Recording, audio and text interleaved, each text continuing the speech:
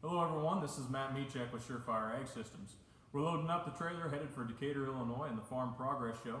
One of our systems that we'll be showcasing this year is the John Deere Rate Controller 2000. This particular controller will be highlighting four of our products, including this Tower electric pump system, the Spartan high pressure injection pump, and our popular LiquiShift variable rate technology, and this, our ISO Sentinel liquid row flow monitoring system. Come on down to booth 310 and see these and the rest of the outstanding lineup of products from Surefire Ag Systems.